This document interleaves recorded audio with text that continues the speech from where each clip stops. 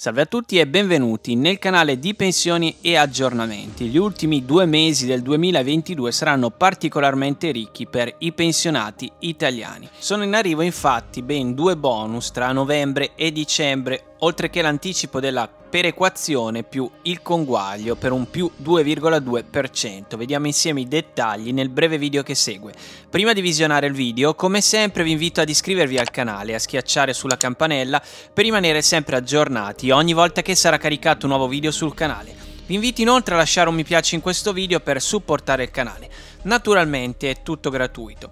Ormai abbiamo appreso che il 2,2% in più in arrivo a novembre porterà pochi spiccioli in più nelle tasche dei pensionati ma grazie al nuovo bonus in arrivo con il decreto aiuti ter da 150 euro per pensionati, invalidi, lavoratori e percettori del reddito di cittadinanza arriverà una vera e propria boccata d'ossigeno, anche se è stato imposto il paletto reddituale dei 20.000 euro annui.